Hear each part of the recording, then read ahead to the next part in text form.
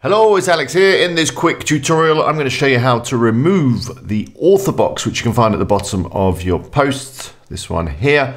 We're going to use the site editor, which is how you can basically make any changes you want to um, whatever you like on the site. So could be this post template, could be the homepage, whatever you like.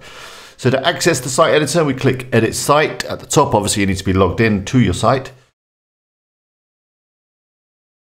And then we need to go into templates over here on the left hand side. And the template we want to change is the single template or alternatively or as well as you might want to do the single one if you're with the sidebar if you're using a sidebar. Same process. Click on the one you want to go for. So I'm going to start with uh, single. Click edit. Scroll down and here is the author box. Give it a click.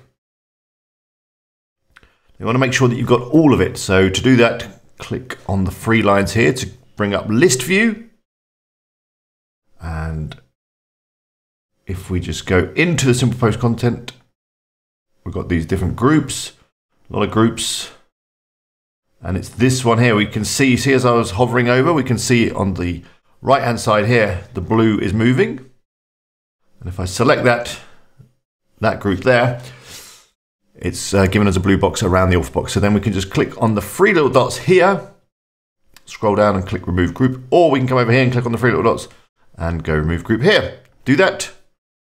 It's gone. Click save, click save. Two saves. And if we um, go back, take a look at a bit of content. Scroll down to the bottom and uh, yeah, no author box. Job done.